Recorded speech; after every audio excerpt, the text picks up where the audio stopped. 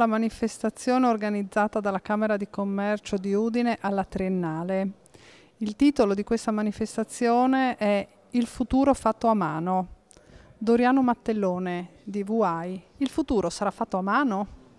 E penso che sempre andando avanti sempre più sarà fatto a mano.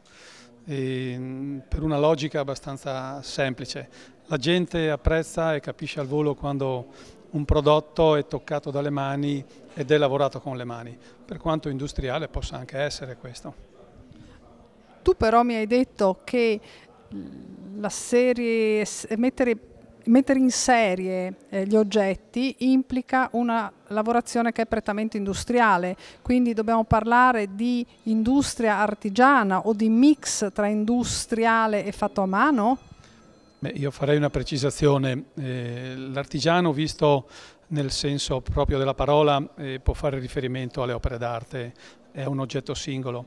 Eh, l'artigianato industriale conserva le eh, qualità eh, di un prodotto artigianale pur avendo dei processi industriali che sono eh, necessari per creare più oggetti e nel caso degli occhiali di legno, quali sono questi processi e quali, qual è il mix tra industria e artigianato? Beh, eh, innanzitutto parti da, dal lavoro principale che è scegliere i fogli di legno dove c'è la componente non solo manuale ma anche umana, capire le essenze nelle, nelle loro diverse risposte tecniche, quindi il faggio, il rovere, il noce, il ciliegio e l'uomo ha queste conoscenze, conoscenze che una macchina selezionatrice non potrebbe avere.